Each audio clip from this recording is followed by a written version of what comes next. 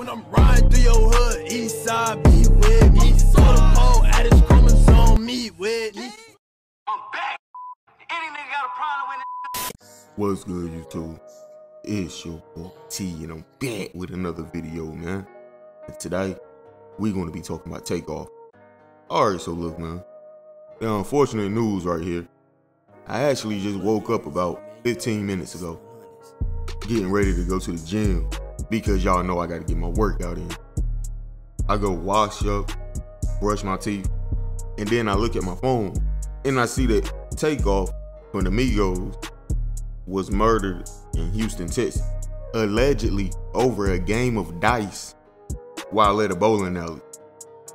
Now, I will like to say rest in peace to him before I get into this article, but I'm about to read this article from TMZ verbatim for y'all right quick. Takeoff, dead at 28, shot in Houston. Takeoff, one third of Migos is dead after an early morning shooting in Houston. Law enforcement sources and multiple witnesses tell us a fatal incident went down shortly after 2.30 a.m. That's when cops got called for a man shot at a bowling alley. A bowling alley called 810 Billiards in Bowling, Houston. We're told Takeoff and Quavo were playing the game of dice when the altercation broke out, and that's when somebody opened fire. Shooting Takeoff, either in the head or near the head. He was pronounced dead at the scene. TMZ Hip Hop has obtained footage from from the scene, and you can see Quavo in an orange shirt and others gather, gathered around Takeoff. At first, they tried to move him, but then they put him back down. Dang, man. And, and Quavo yelled for, for some help. Police tell us two other people were shot and were taken to the hospital in private vehicle. It's unclear what their conditions are. Quavo was not injured. Just a couple of hours before the shooting, Takeoff posted a selfie from the bowling alley. Quavo had posted a video earlier in the night driving around Houston with Jazz Prince, who was celebrating his birthday. Now, as you can see, uh, this incident happened inside of a bowling alley, 810 Billiards in Bowling, Houston, which looks like a pretty casual spot in my opinion. I'm not from Houston, so I don't know the area. It says the hours of operation are from uh, 4 p.m. to 12 a.m. on Monday through Thursday. So I have no clue what they was doing there around 2.30, 3 a.m. playing a game of dice. But that's what happened, man. And I just really hate that these rappers uh, keep getting in these situations. Situations that I feel could be avoidable. Because Takeoff and uh, Quavo, because they're a duo now, uh, Offset Solo, Takeoff, Takeoff and Quavo, they became a duo. They just recently dropped the album, which is doing pretty good and getting pretty good feedback. They have tons of platinum songs. You can't be somewhere named the 810 Billiard in bowling. Y'all aren't regular people, fam. I'm not saying y'all can't enjoy yourselves, but if you are, you gotta make sure you're good. When you go to public places like this, I don't know their situation, but you wanna be as secured as possible and not playing dice with some random street people. They don't have more to lose than you. So let's say you make them mad. You gamble them out of all of their money. Or they start arguing with you because they think you cheated. What you think gonna happen? An altercation is gonna happen. And as I said, these people don't have more to lose than Takeoff and Quavo. So they'll risk it all. Kill this man over a dice game alleged. And this reminds me so much of uh, Little Snupe. They said that he was murdered over a game as well.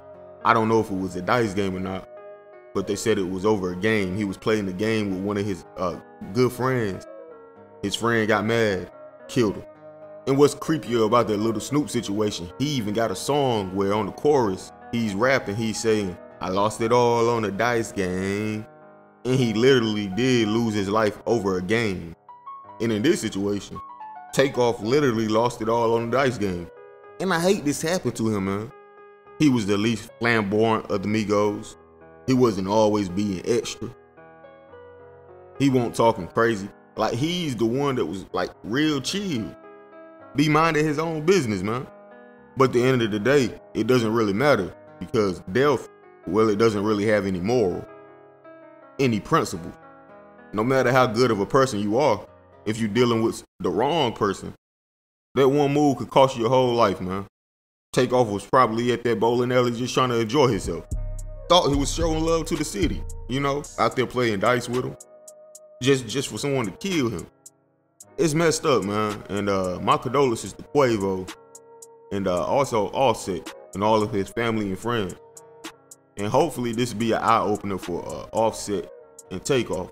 Ah, sorry about that. Rest in peace, Takeoff, Offset, and uh, Quavo. If it's not that serious, you gotta let that beef stuff go, man. Y'all family. Can't let girls and egos get in the way of that. Who's to say if Offset was there, it would have went differently. I see the way Offset be cherishing his life. Hell, he got a kid to go home to and a wife. Maybe they wouldn't been at a, a bowling alley at 2.30 in the morning, who knows? But I really hate this happened to this guy. I was just watching uh, their Drink Champs interview a few days ago. I was just saying how the guy was uh, extremely funny, and I feel like he's the most likable out of the three Migos. But again, uh, rest in peace to him and condolences to his family. But anyway, man, how y'all feel about this? Let me know in the comment section, bro. Like, comment, subscribe, hit that notification bell, man. Hey, man, follow me on Instagram at Teezy F Baby 252. Rest in peace, Takeoff. I'm gone. Prolific. Aye. Bitch, I'm in these streets. Fuck this industry. Bitch, I'm in these streets. Fuck this industry. Aye. Bitch, I'm in these streets. Fuck this industry. Bitch, I'm in these streets. This industry. Bitch, I'm in these streets. Fuck this industry.